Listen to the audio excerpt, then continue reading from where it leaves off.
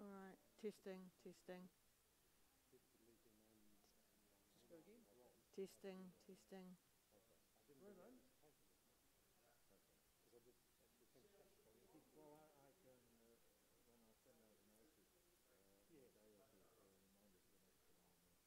Test, check. So that one's gone. Can you hear me? He's just working out sound. Yeah, I'm happy. So what you, you'll have a shot that's either you or the, the slide. Oh, you're filming it. Yeah, uh, yeah. Yeah, that's one's it. On the, one's on the screen and one's on you. Okay. live stream to Yes. 50,000 people. They have company Yeah. I'm sure actually probably half of New Zealand's tuning in, aren't they? Can't wait to hear about it. Yeah. Yeah. I forget. Oh, yeah, it's working So now. While you've got a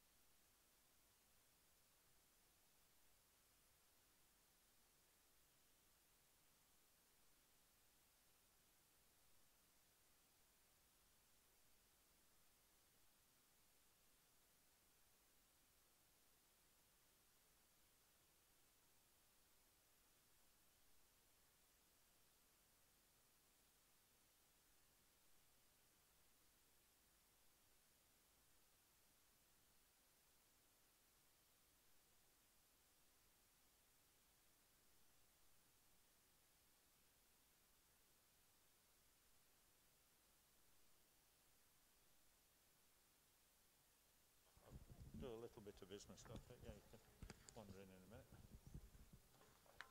Hello, everybody. I love that.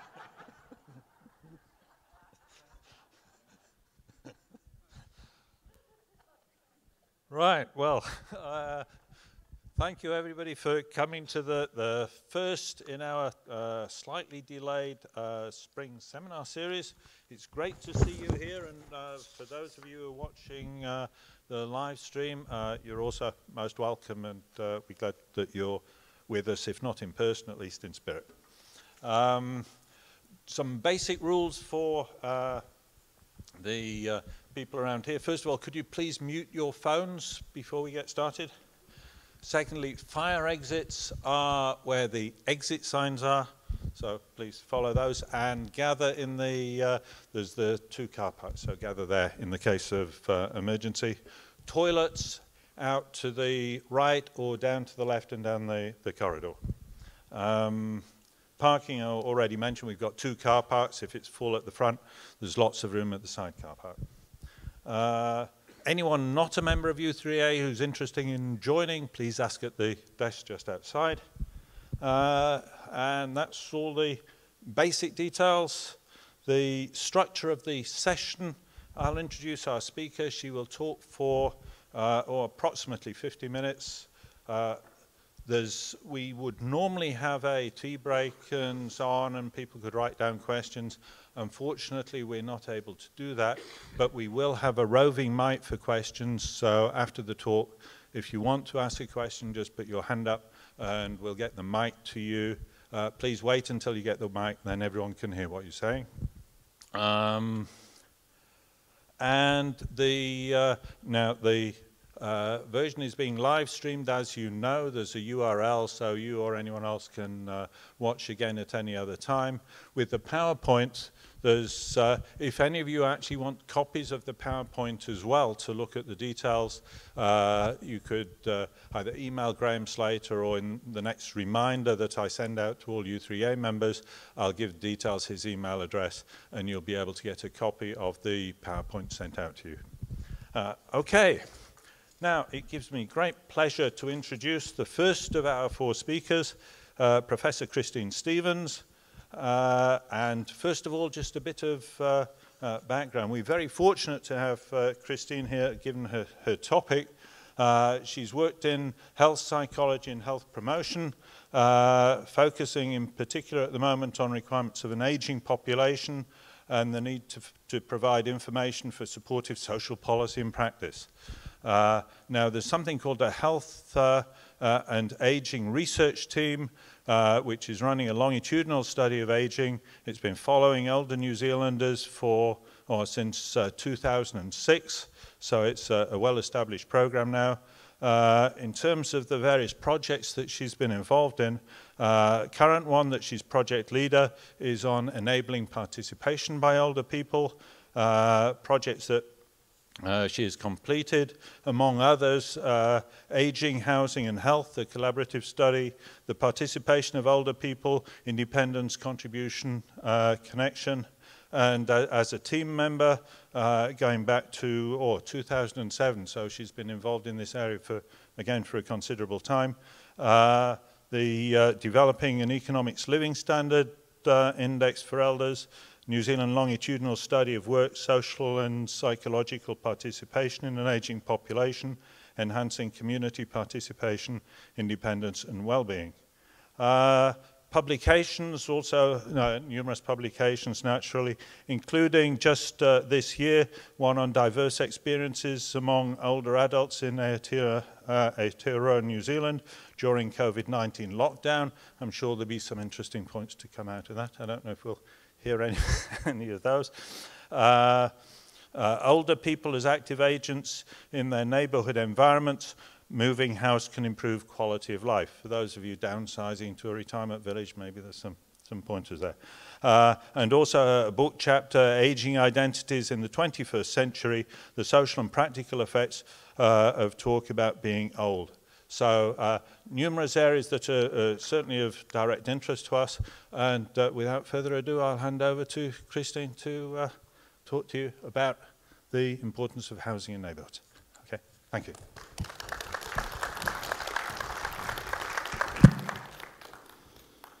Kia ora. Um, thanks very much, Stuart. I see you've been looking me up, tracking me.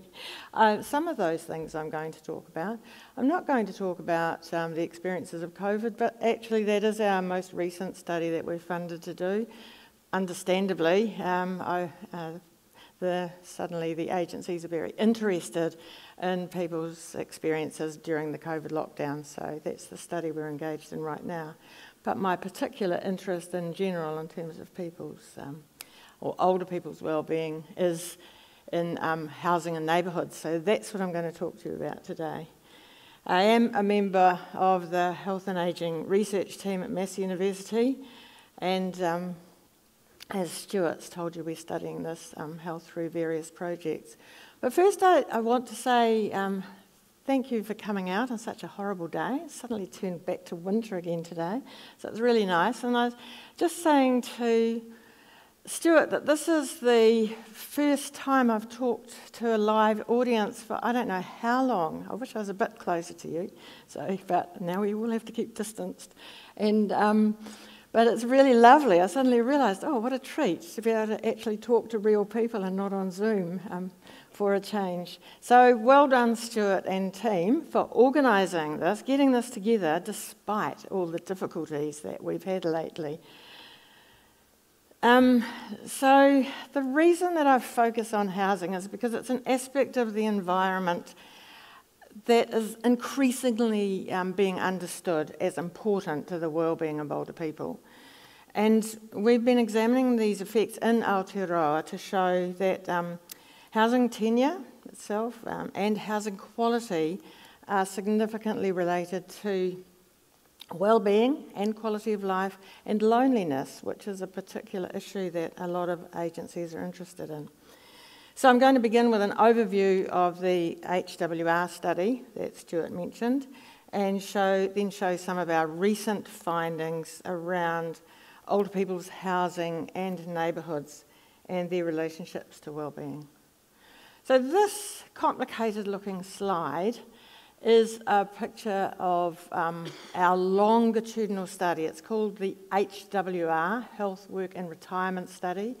And we started in 2006, and this um, shows here the movement across the waves.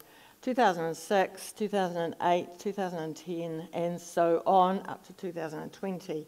And we are in the field again this year as a special wave to look at the COVID um, responses. Um, so we have been following, a, it's the same group of people, but with some refresh. Um, so in 2014, we started adding new people in at the bottom. When we started, the, um, the group was aged 55 to 70. And so, as we've gone on over the years, of course, these people are getting older, which is the plan to see how they go through retirement and into older age.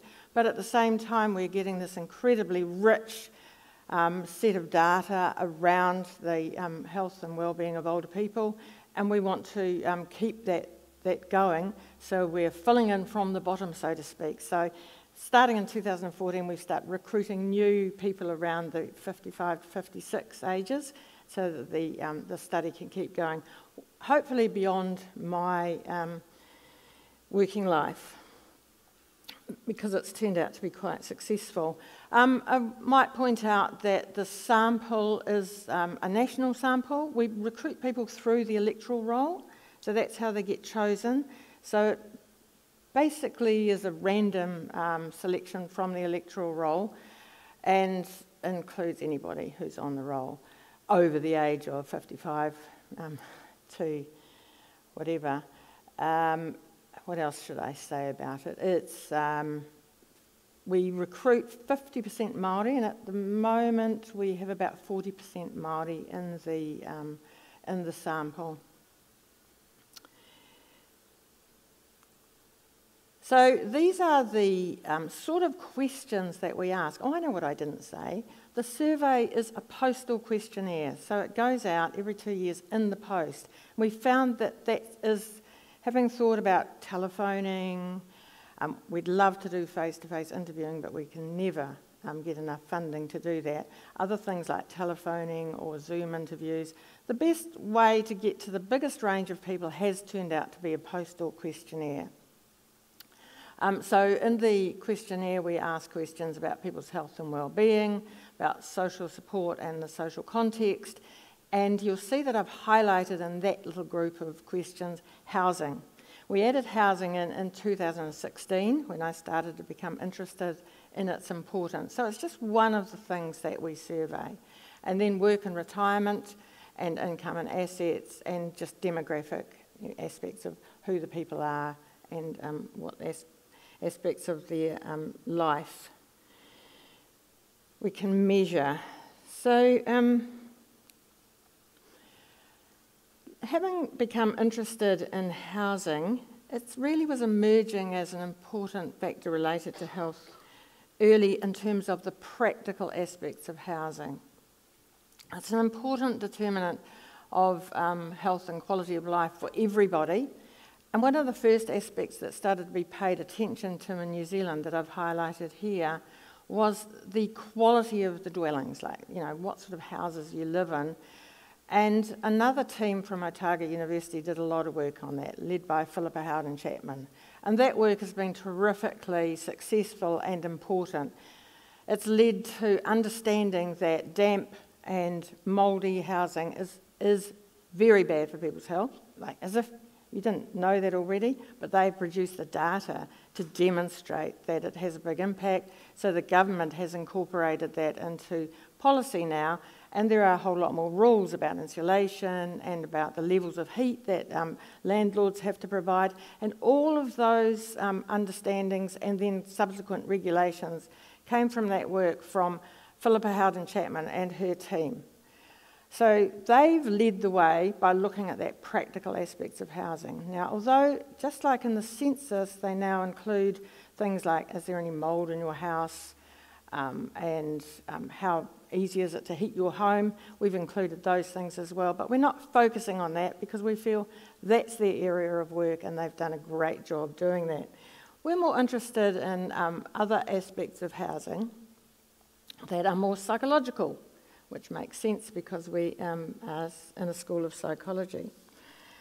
The first thing we wanted to look at was the effects of tenure types. And we started doing this uh, work in 2016 simply because that's all we'd asked so far about housing. Do you rent your house or do you own your house? Is basically what it boils down to. Because it turns out to be that there are quite some quite important differences between people on um, whether, they, whether you're a homeowner or whether you rent your house. Now, these analyses um, for these questions about housing tenure were led by Dr. Agnes Szabo, and these are some publications that came out of her work with the HWR data.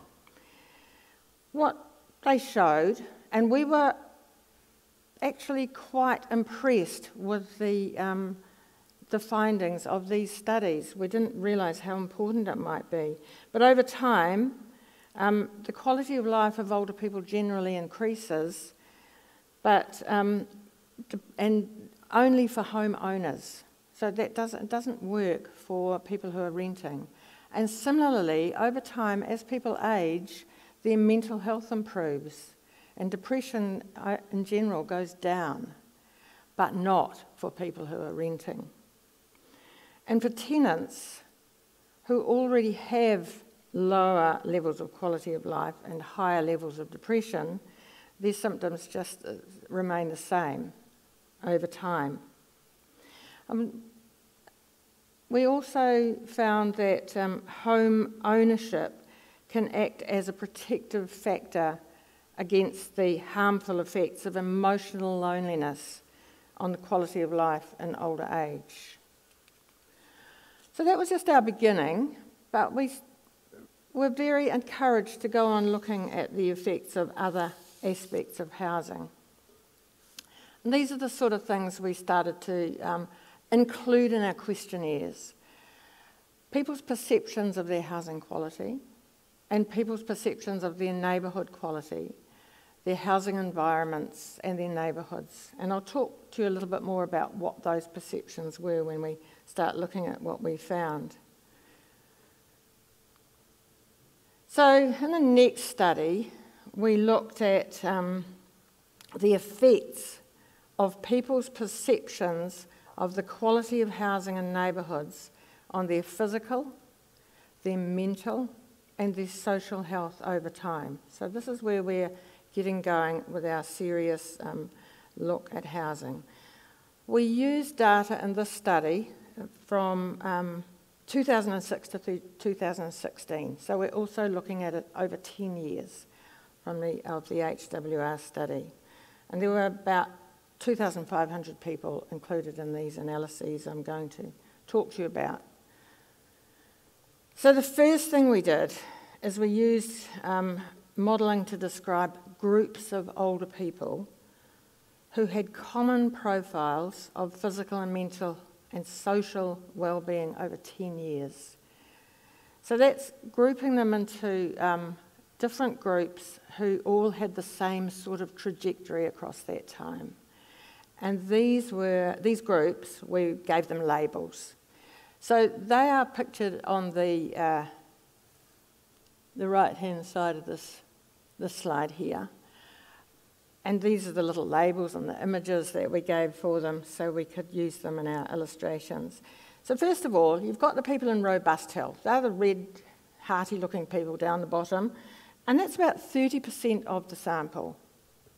These are people with good, above average physical, mental, and social health. So, 30%, that's a good proportion of the population that are represented here. The second group, another 30%, were in average good health.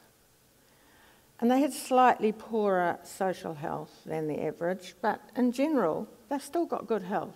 So now we've got 60% of the population of older people in our sample who are doing really well in terms of health. So that's one thing to keep in mind, is that older people in the um, country are generally quite healthy. But there are people we do have to worry about. And the next group up is we call declining physical health. Now, this is the only group that changed across the 10 years, and as the label shows, their health went down. So they're probably um, the people who, at the beginning of that time, um, maybe got some illness or started to get some um, chronic illness that made their health decline across the 10 years, and that was 17% of the sample. Then we've got people with um, limitations in mental and social health. That's 12% of the sample. A smaller group, but big enough group that we should be concerned about their needs.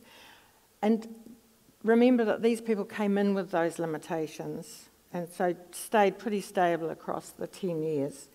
And then a smaller group, 9% of the population that we call the vulnerable group, who um, had limitations in physical, mental, and social health. The reasons for looking at these groups um, is because there are these smaller proportions of people with um, problems, limitations in health of various sorts. And if we averaged out all of those um, scores on health, then those people would get lost because they would get swallowed up by the 60% of relatively healthy people. So the usefulness of pulling them out like this and putting them into groups and following their track over time means that we can pay attention to what's happening to the more disadvantaged people in our society. So um, these health profiles are related to early mortality, cognitive functioning, and health-related behaviours, so that um, different groups have different out- outcomes. And in general, across all those things, the vulnerable group in particular have the worst outcome.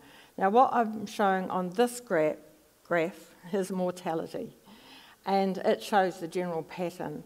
And it's quite, um, I suppose, reflective of what one might expect. So you can see that the vulnerable group in blue are, are most likely to die across the 10 years. And then that's followed lower down by the people with the um, mental and social health limitations, and so on, until you get the robust group at the bottom, who are the least likely to pass away across the 10 years. And these data show the, um, how the profiles relate to particular aspects of housing. I can hardly read that one up the back, so I'm going to have to turn around and look at it. um, this is the percentage of those in each health profile who report satisfaction with housing and feeling safe at home. So, this is satisfaction with housing, and this is feeling safe at home. Now, you can see that both graphs show the same general pattern. So, let's just look at one. Satisfaction with housing, the robust health group have got, are the most satisfied, and the vulnerable people are the least satisfied. And a similar pattern for feeling safe at home. So that's how the groups um, are reflected in terms of their housing. In the next one, you'll see that, um, I'm just going to stand aside here.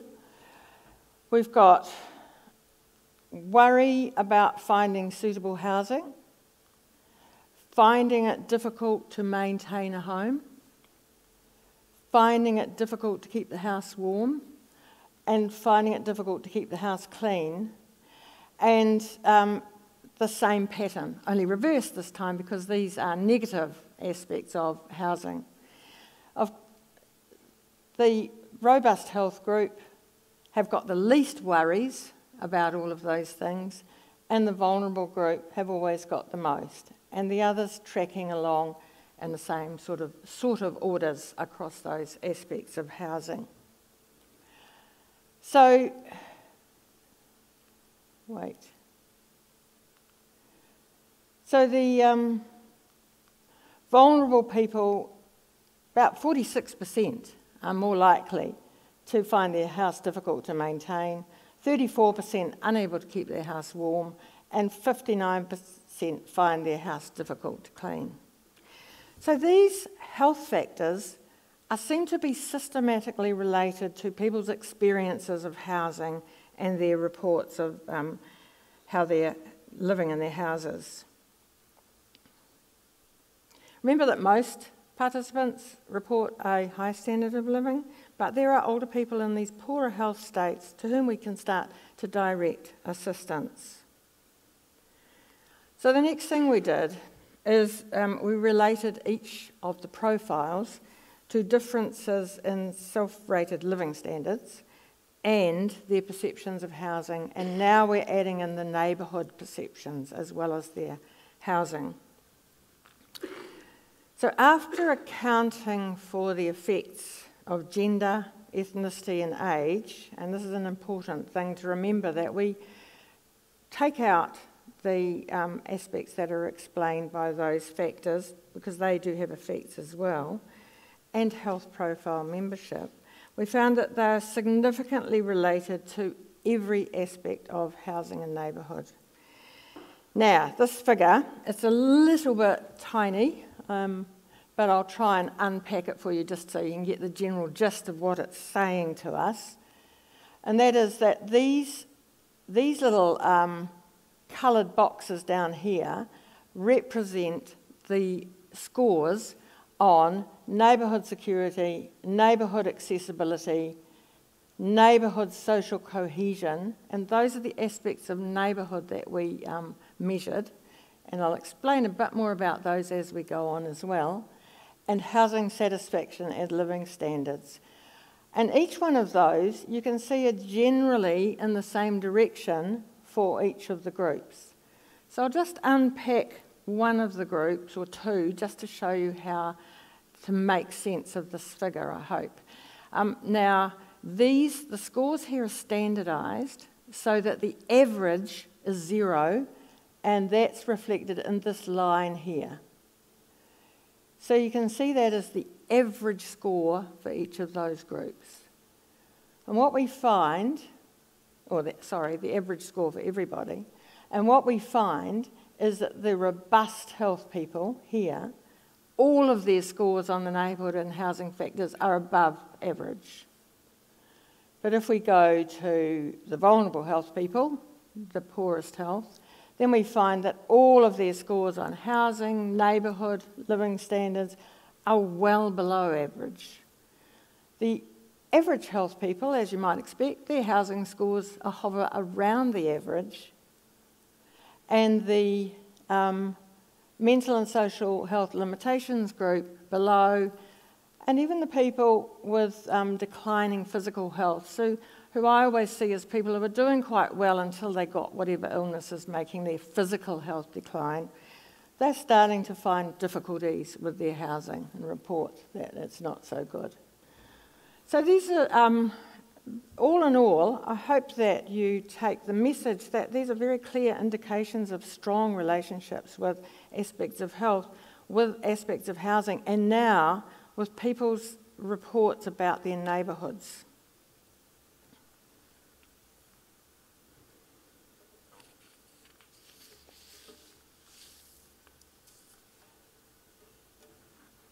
I think that's all I've got to say about that one. I'm happy to go back later if you've got any questions about particular um, aspects. Now, the World Health Organization 2015 policy framework draws our attention to the importance of the environment for older people's well-being. This is in contrast to a lot of the work that's been done in the past thinking about um, how individuals can improve their health. Now, I'm sure you've all heard all those messages. You should eat better, you should exercise, you should go out and make friends, you should do crosswords. You know all those things you're meant to be doing to keep well and healthy.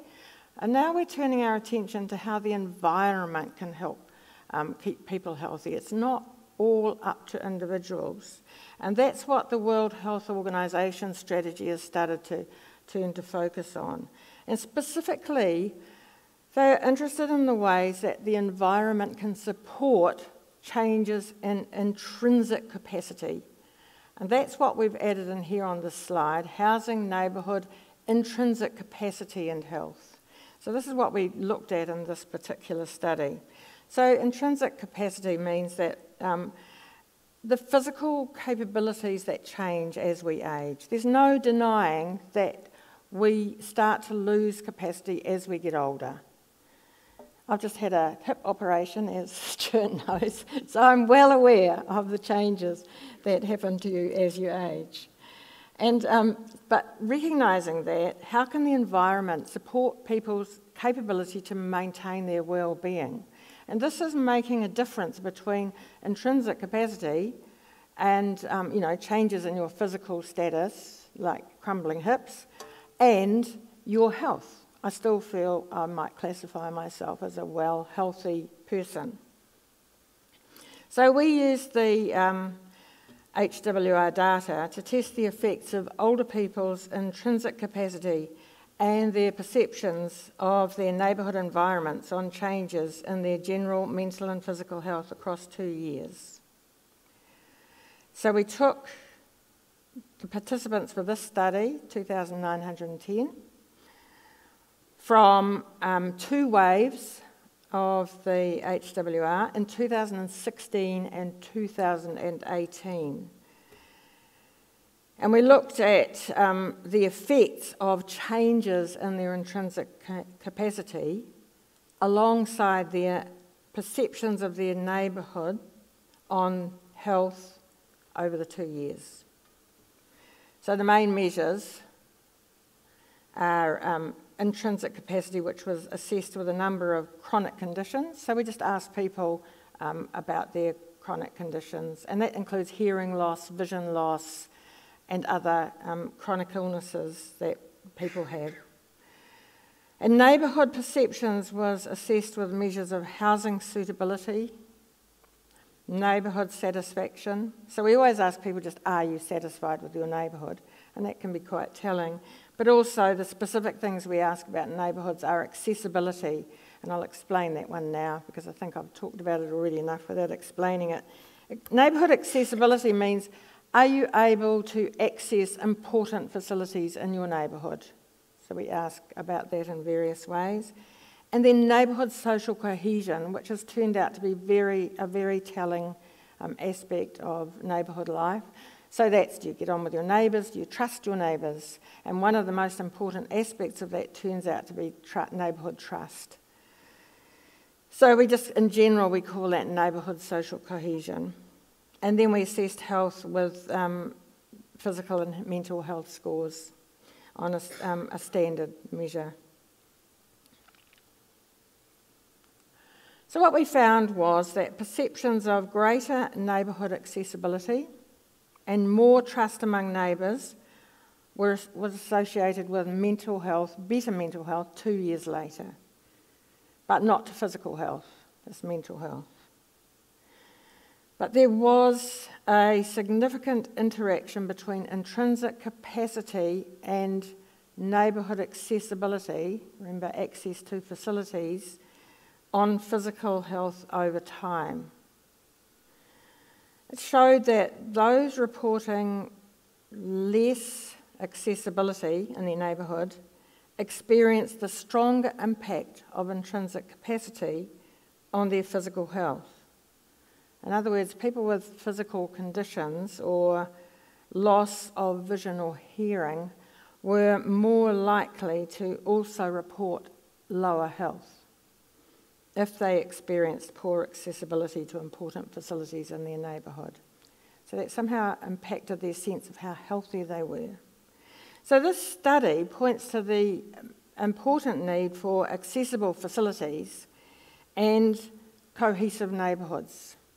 And that gives us some um, direction for social policy or for um, local council actions we can now go and say these are the most important things that are affecting people's lives in their neighbourhoods. And that's the paper that comes out of this one. Now, I'm, i keep including these papers for the people that might read these slides later and want to look up and find out more details about that. So now we're shifting the focus from um, health to quality of life as an outcome. And in this study, we focused on the ways that the important aspects of housing and neighbourhood work together. So it's an ecological perspective, as we've called it in the title here, to create livable environments that support good quality of life. So this is an image of the um, ecological model that shaped our analysis. At the individual level, that's at the very heart of the model, we considered people's socio-economic status, their health, their chronic conditions, their gender, their marital status, and their age. And at the environmental level, we considered their housing and neighbourhood satisfaction, their neighbourhood accessibility, and their neighbourhood social cohesion. And we also considered two what we might call more objective contextual factors, and that was whether they lived in rural or urban environments, and also the distance to the health, nearest healthcare facilities. we chose that one. It seems like odd to suddenly add that in, but that's been telling in the um, literature overseas, just how far people have to go to get to their health facilities.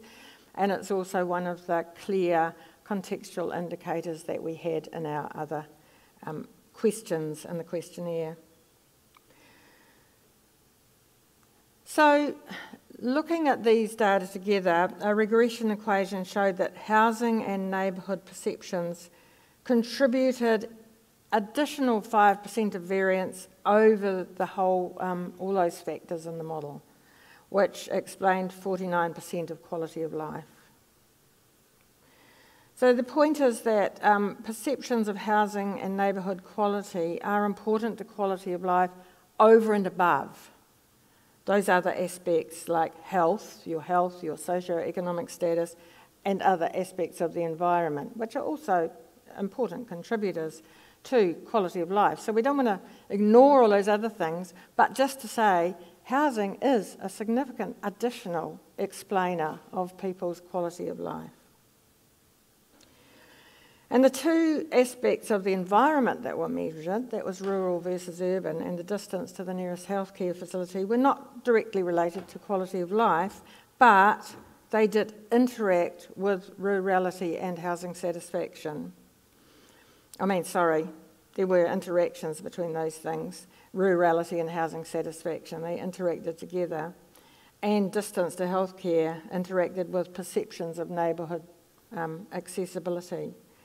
So, just for example, um, those interactions, the uh, people living in rural environments, their housing satisfaction was more important to their quality of life.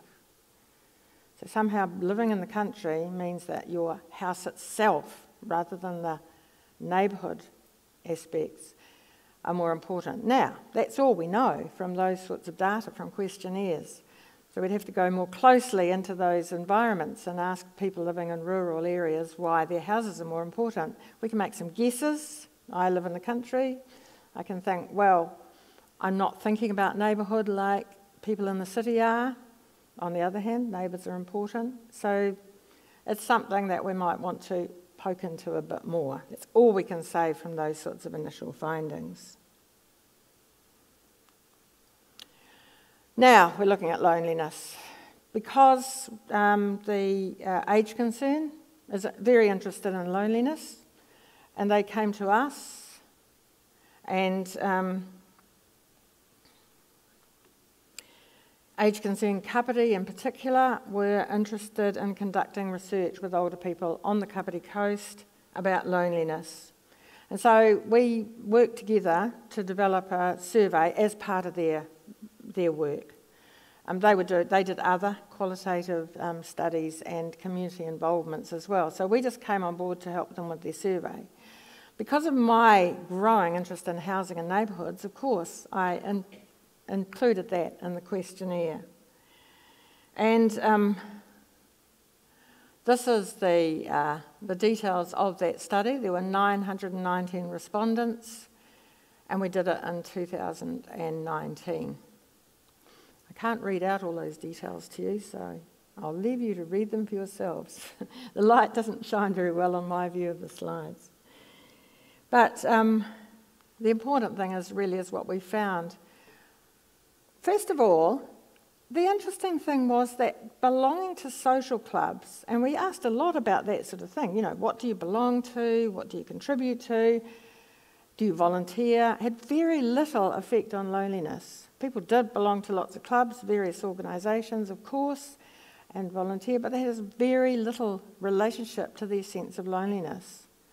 And these are the factors that did predict loneliness. When we put them all together into a regression equation, so they're all controlling for each other, the, the final significant predictors were marital status. Now, that's understandable. We must include this when we're thinking about loneliness. It's such a telling thing, particularly among this age group where people are often um, lately widowed, and certainly, you know, we, as we can understand, has a huge impact on feelings of loneliness.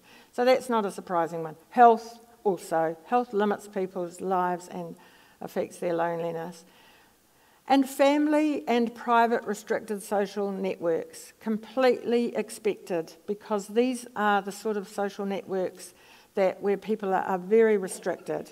And although you might be surprised about family, a family social network um, is when someone becomes dependent only on their family, their social life is closing down and they usually do express more feelings of loneliness.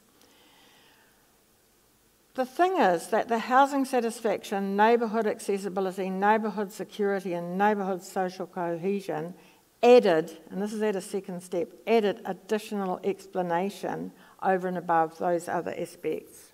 So I was certainly impressed with these findings, and we'd like to do more work on that as well in terms of loneliness, because to me, once again, this is um, a clear signal of what we can do about loneliness. Do you know that at the moment there's a big push by Age Concern about relieving loneliness, and there's a lot of um, interest at the moment in what um, councils and government can do. And I'm, you know, of course, I'm in there saying neighbourhoods, social cohesion, developments, thinking about the future. How are we building housing? How do they work? So, given all that, um, you know, understanding these important relationships, we asked whether older people can improve their quality of life by moving house to somewhere better.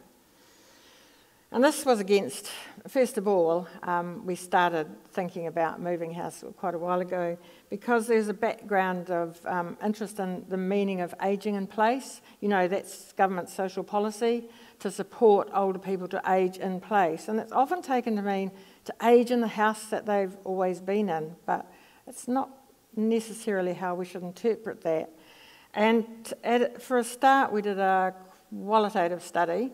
Um, with 148 people in New Zealand, and um, we found that when we interviewed these people, they fell into two groups.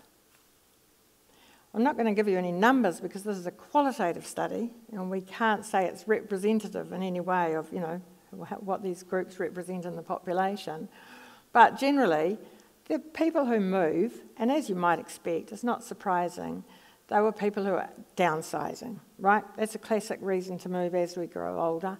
Um, and to move closer to facilities, move from the country into town, move from your um, from out, out of suburb into um, closer to facilities in the middle of town, uh, move to a more convenient, sunnier house. People spoke about those sorts of things. And moving to be closer to social connections, particularly family. A lot of older people move to be closer to their family. And so these are all not surprising aspects, and um, people did talk about moving house. But we also had people who said they would never move house, and we called those the non movers. And in actual fact, when we um, wrote up our analysis of these data, these are the people we were most interested in because they went against what you thought might um, improve their quality of life. And we looked at, they sort of fell into three sort of types of explanations for why they weren't going to move. And the first group, which I find fascinating, are what we called the pioneers. So I put that word out there, pioneering. But that was just a label we gave them. But what they were people who loved roughing it. So we had people living up mountains, people living out way in the country with very poor facilities like outdoor toilets. And um, when I say living up mountains, you know, that's not a good place as you lose um, mobility. And so, but these people loved struggling against nature, um, being like pioneers, and being very self sufficient and very resilient and very proud of it. And then there's people who expressed belonging socially. And that's very easy to understand. You know, they, their friends were there, their place was there, and this is where they belonged. So they weren't going to move, even if their house had seven bedrooms and was completely um, not suitable. They were still, um, that was the, not the important thing to them. The important thing was their social relationships. And then there were the people that belonged to a place. Like they, they were rooted in the soil of that particular place. So nothing would persuade them to move either in terms of their housing accommodation. So um, that's, um, as I said, when we wrote up these results, we just found that the people who wouldn't move were the most interesting people, and that's our, our paper from that. But still, that begs the question of, you know, does moving house improve quality of life. So we've turned to the HWR um, data to look at that. So, as we already know, and as we found in this study of 3,000 odd people, um, of whom 8.2% moved house between 2006 and 2018. So, it's not that many movers, but enough for us to look at the differences. And so, as I said, um, quality of life uh, for these people was predicted totally expectedly by now by housing satisfaction, neighbourhood satisfaction, neighbourhood accessibility, neighbourhood trust, and that was controlling for age, gender, marital status, home ownership, socio-economic status, physical health, and mental health. And the movers generally um, improved their environmental satisfaction by moving, despite the other potential effects on their um, quality of life, like their differences in mental and physical health and their changes in marital status, which we thought was an important thing to control for. And those who moved house between 2016 and 2018 reported lower housing and neighbourhood satisfaction than non movers. So, over time, movers reported less decline in housing satisfaction and more positive changes on all the neighbourhood perceptions, with higher perceptions of neighbourhood accessibility than the non movers um, in 2018. So, from that, we would say in general it seems to work out well for the movers. Um, aging in place doesn't need to mean staying in the old house, but rather staying in the community of choice. I think that's the paper for sake of completion. So, just to sum up, housing and neighbourhood satisfaction, neighbourhood accessibility, neighbourhood social cohesion are linked to physical, social, and mental health and quality of life and loneliness among older people. And they are linked positively so that the more satisfaction, the more accessibility, etc., the better those aspects of well-being are.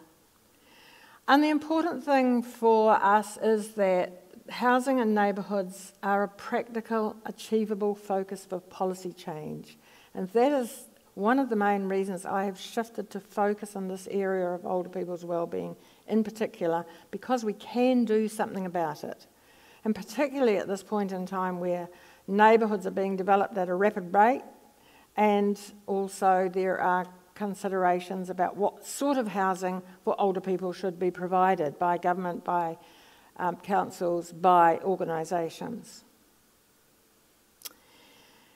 We have um, already been feeding into government policy. The Ministry of Social Development has a new ageing strategy with some focus on housing as part of it.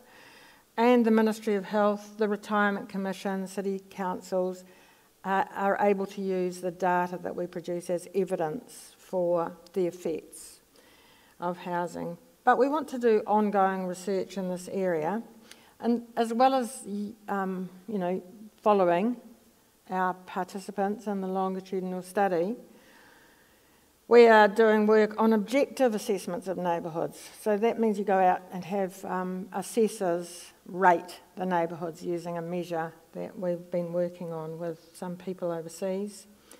And at the moment, we've got um, a, a running a study that is linking those assessments all over New Zealand with loneliness and health measures in the HWR. And also, we want to do more community focused work to develop age friendly neighbourhoods. I'm you know, working ongoingly with the Kapiti Coast, with both Grey Power and Age Concern. We've worked with the Napier City Council on their ageing, age friendly strategy, and we were open to doing more work. I was going to be talking to the Palmerston North City Council, so, but thanks to COVID and all this shutting down thing, but they are starting to think about um, working towards age friendly as well in Palmerston North in a more focused way. And we also want to do more participatory research around age friendly housing and neighbourhoods. I did have a student out in Palmerston North about to do her honours project, um, talking to people about their neighbourhoods so that we can get more in depth perceptions of what the meanings of some of these results are. But sadly, again, that one's been cancelled because of COVID, because I can't send a young woman out to talk to old people in these times. So it's all just um, too complicated. But we, you know, hope that that will happen in the future. So that's us. Oh, yeah, that's all I had to say. Yeah. that's, that's our team, or um, a good few of our team at work at Massey. Thank you very much for your attention.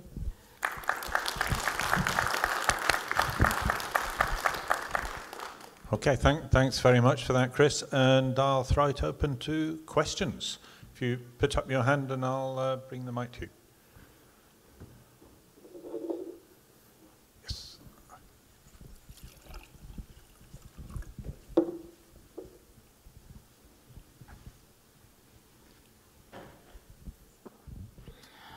Hi. I just wanted to ask what your thoughts were on the argument around green spaces disappearing, pros and cons, etc. Mm-hmm. Uh, there seems to be quite a bit of argument about it, one way or another. Uh, what do you think? How does that impact on people who can't get around? Maybe they need that green space or not. I don't know. Hmm. I'm not, I haven't been involved in those arguments, so they'd just be my personal thoughts. I have no research or anything on it. Um, I, I believe that all neighbourhoods should have access to some green space. It makes sense. In particular, green spaces that allow intergenerational people to connect. And that is one of my interests in green spaces. So, parks are clearly very important places where older people and younger people can mix. And I think these are very important for neighbourhoods.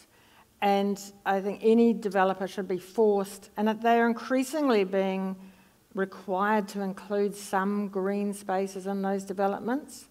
But I don't see that many um, great examples in some of the developments I've driven past lately, but I've heard that they're being required to. But I do think that they're important in that way, and I'm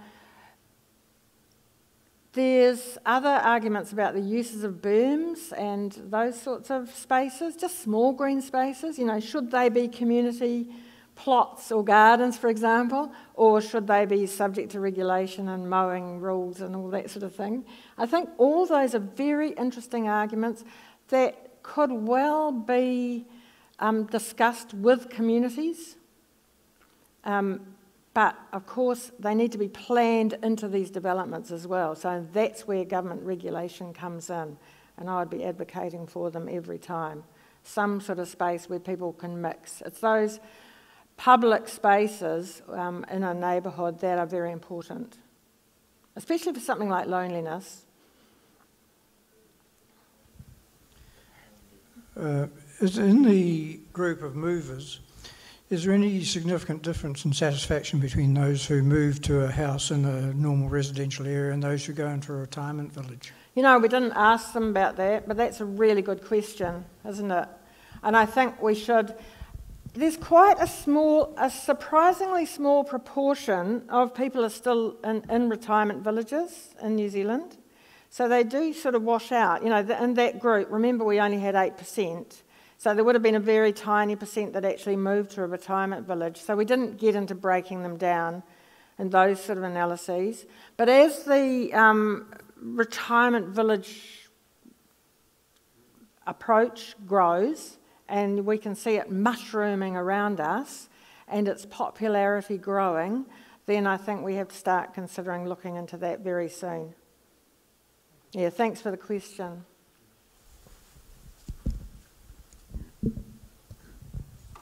Yeah, my question is really related to that, and I lived in I live in the Summerset village, Mm-hmm. um, and as a very active person and involved in a lot of community things, um, and I wondered when you talked about um, the own people who own their house and people who rent, was there not any difference about people who live in shared housing people who live, parents who live with their children, and people who live in community housing, council housing, residential homes.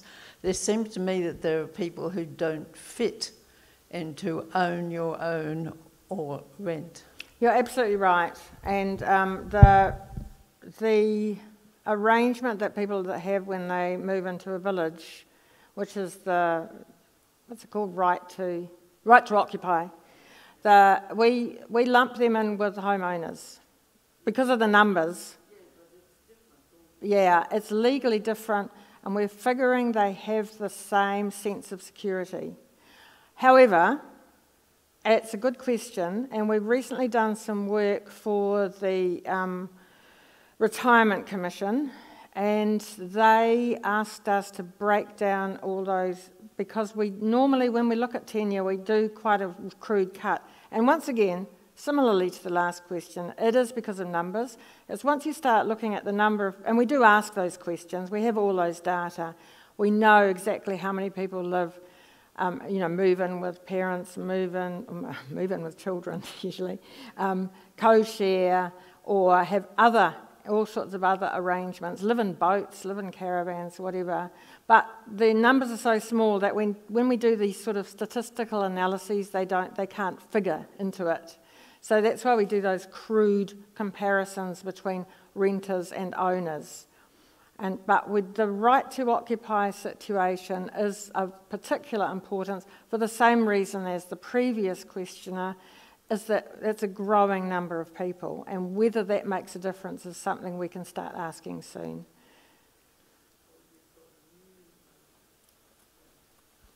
Pardon? Okay, yep, happy to talk. Thank you for your talk, Christine. Um, my interest would lie in being able to deliver health to people who are isolated in the communities and why we don't make greater use of buses carrying health professionals to take care of these isolated communities, particularly our Maori people. Well, that's a good idea. Um, I just read the other day that the, um, the a lot of people depend on the Red Cross to not take health professionals in, but to take people to the facilities. And so when we talk about a neighbourhood's access to facilities, that would include that sort of transport, that way anyway. Um, I can't answer your question about why we don't bus um, professionals into isolated communities. That's really one for um, the DHBs and the um, health system, but I think it's a very um, good idea. But as for getting people to the facilities, to their health facilities, transport is a huge thing and it must it should be taken into consideration as part of the development of neighbourhoods. And when we start looking at it down at the community level, like working with councils, for example, then this becomes a big part of it. Transport's always the issue. And of course, they are the people who can provide buses. And think about the way the buses might work as well. Yeah. Yes, we do have health shuttles, but the Red Cross, uh, I started to think of, the Red Cross has just stopped doing it from the West Coast to some hospital in the South Island. It's like it's diminishing instead of growing. so that was a um, that raised that issue for me, made me think about people going to the health professionals.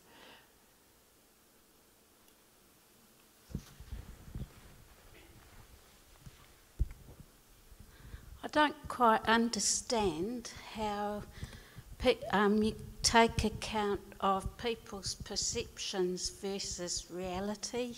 So, someone who's feeling depressed might find that their house doesn't suit them in ways that they might feel differently about if they weren't depressed. So, how does your research take account of that sort of thing? Well, it doesn't.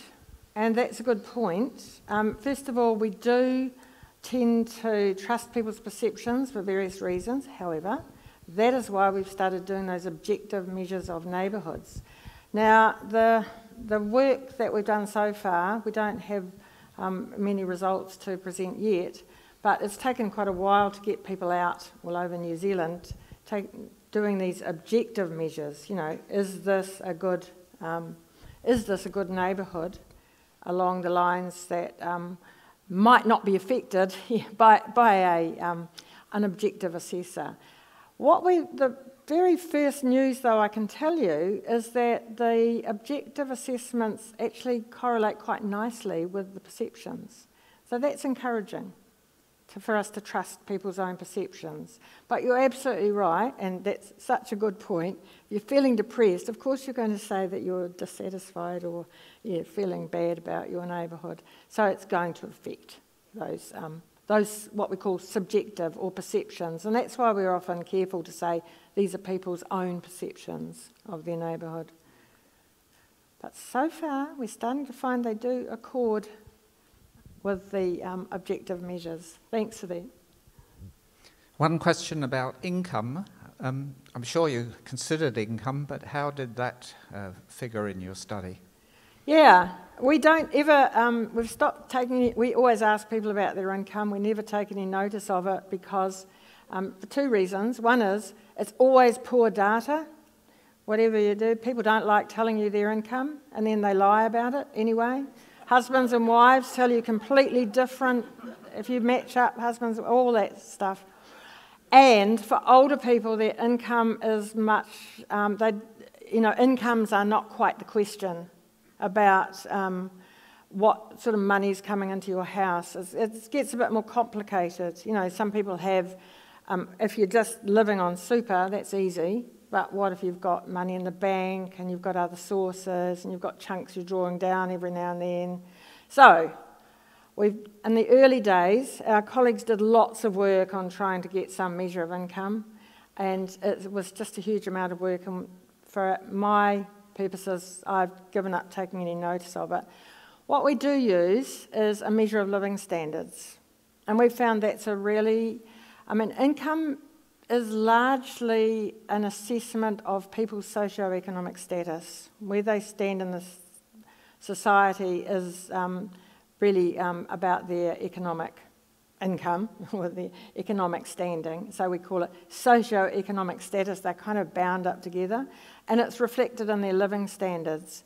And living standards has turned out to be a very good way to assess, and it's, it's turned out to be um, quite reliable way to assess people's, not their income, but the way they're living, which is what income's trying to um, tap into anyway. How rich are you economically?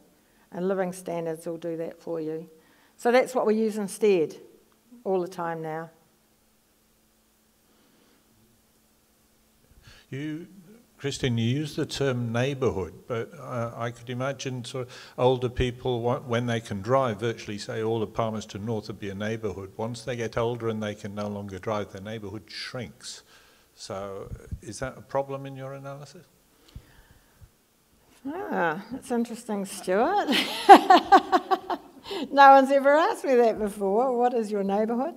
It's one of those things where we rely on people's perceptions, and once again, you know, that defines it for us.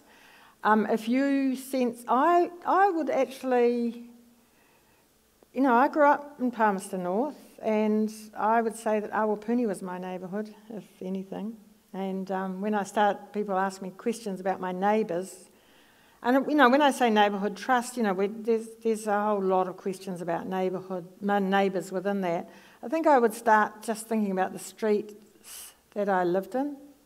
And usually it's like pretty well the street you live in, isn't it, when you think about your neighbourhood?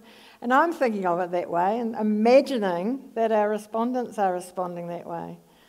Now I live in the country, of course, I do have neighbours, and we still we feel very close, and we would call it a neighbourhood, and uh, but they are at a greater distance. So it's people's own judgment. Who thinks that Palmerston North is their whole neighbourhood? Okay, yeah, well, that's interesting. So if I was asking you questions about whether you trusted all the people, you're thinking of the whole of Palmerston North. Yeah, well, that's a very interesting question, and we'll start including that in some of our qualitative studies. Thank you. How do people perceive their neighbourhoods? Yeah, I have a picture in my mind, and I was assuming that everyone has a similar picture. I'll, I'll, throw another one or two uh, at you as well. You, you, mentioned mental and social health limitations. What is social health? Ah, yes. Well, the reason that we did physical, social, and mental health is because that's the World Health Organization 1948 definition of health. And we want to have this broad perspective of health, especially for older people, because of the physical limitations that old people start to suffer. We still think people can be in good health. Um, so we included social health as well. Right, so how did we measure that? We've measured it with um, a measure of social support, really. It's called um, social provisions. It's a measure of social provisions. It has lots of different aspects, and I think of it as tapping into social support.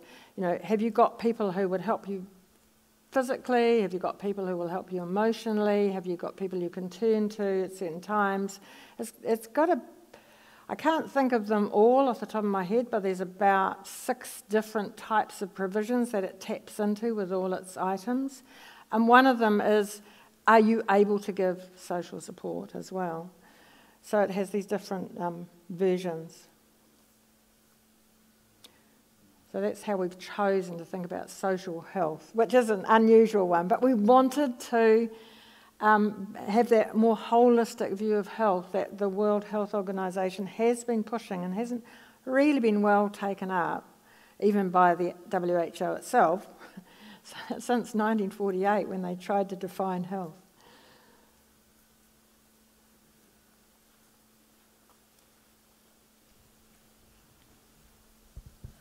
Quick comment about um, health, um, about social um, social contacts, one of the important things in Palmerston North is having a doctor, a doctor you can contact, and a doctor you can afford to pay for, and not some people don't.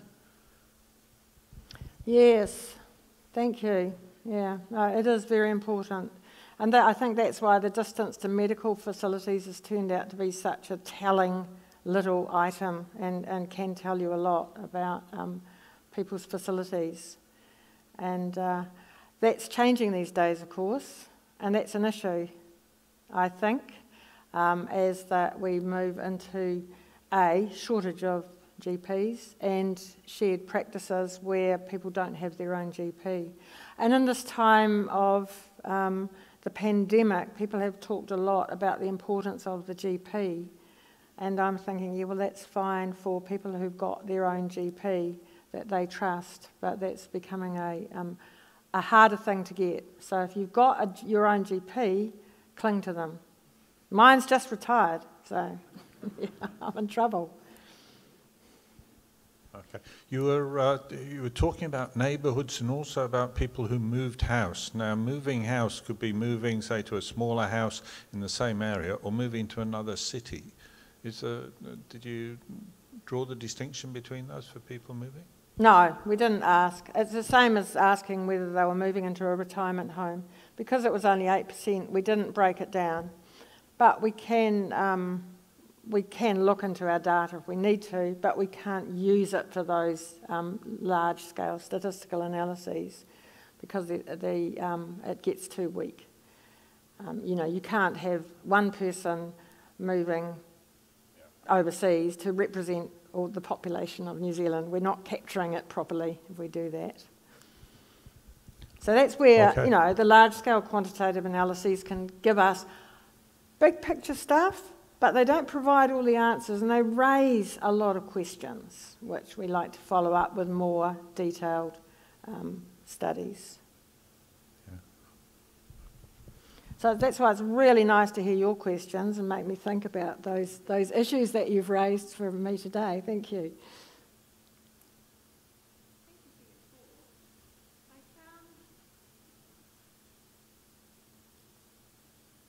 Thank you for your talk. I found it interesting and I, um,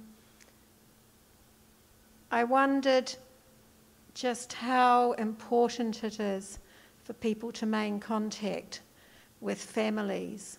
Does that show up in your statistics? Um, well, we it's a question we could ask, but I think it's not something we've ever asked. But just off the top of my head, I think that most of us assume that families are a major source of support and that it is important. So it's not an issue that anyone's raised. I mean, of course, there are reasons that people don't maintain contact with their families or don't have families to support them in their older age. But in general, um, it's the last, they are the last people that will be there for you um, as you get into um, the later stage of needing that sort of support. But, mm, interesting question. How important is it? I think for that reason. Oh, another reason is the state depends on family caregiving. Um, all the old age caregiving at the moment is um, done largely by families, and the government relies on that. Um, so I guess, yeah, we, we just take it for granted. Most of our work around caregiving, which we have done some work around, is more about trying to point out how important the caregivers are, the, the needs of caregivers, and how they need more support, more community and government support, because um, our whole system relies on them. It's not, people have this idea that old people go into care homes at the end of their life and get totally supported. But even if you go into um, care in your old age, who's there for you? Who's the person that visits you every day? It's going to be your family member if you're lucky enough to have them, but most people do. And I'll will even add more as things come into my mind. In, um, in the work we've done just lately with older people during COVID and the lockdown time, I can tell you that most people, just like most people in New Zealand, are healthy. Most older people were quite happy during lockdown, and the people that suffered most were workers, people like nurses, people who lost their jobs, and caregivers. And that is either people who were locked in their home with their spouse who needed intensive care and had lost, you know, contact with other forms of support, or people who were shut off from their loved one in a, a um, care home and couldn't go to see them anymore. And they were the, um, the people that had the most difficulties during the lockdown.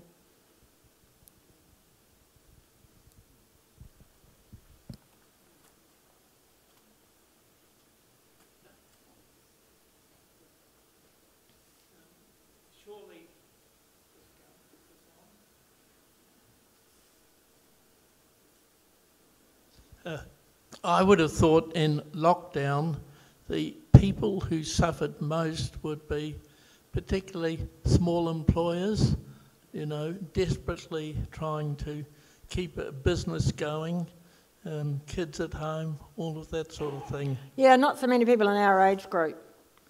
Okay. So we're talking about older people.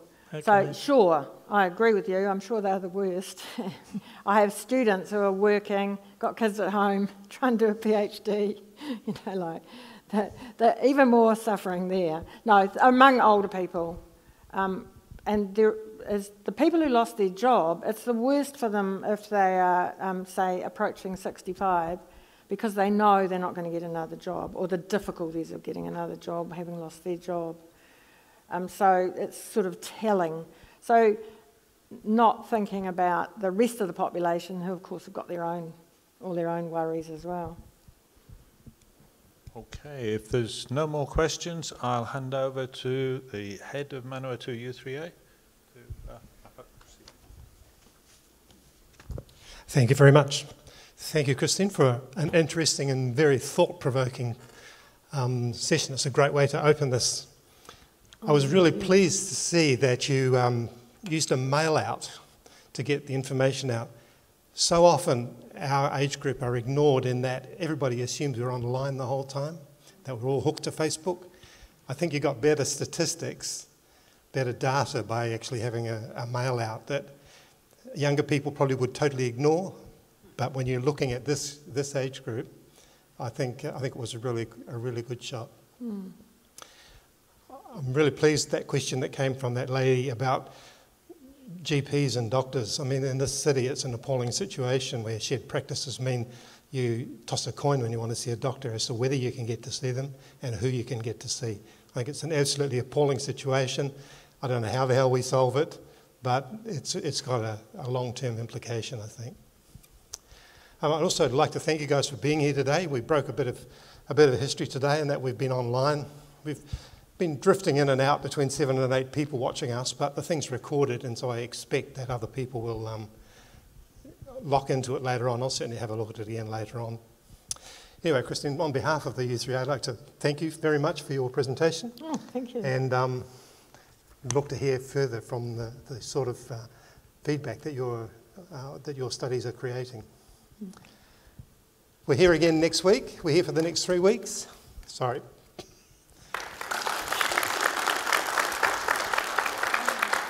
Well, thank, thank you very much. I'll just say before you carry on with your notices, it's been a great pleasure. And thank you so much for your thought provoking questions. And um, just lovely to talk to some people face to face, even if I am up on the stage. I'll leave you to do it. Okay, with your so we, we'll be here again at the same time, same channel next week. Um, as I say, it's, it's online. You can have a look at it on the URL that was sent out by Stuart. So if you want to have another look. Um, also, I've got a copy of the PowerPoint if you want to um, have a look at that up close. Um, we found that the PowerPoint washed itself out a wee bit in the, in the ambient lighting that was here. So I've got a copy of it if anybody wants it. Um, send me an email and I'll, and I'll post it back to you. See you all next week. Thank you very much.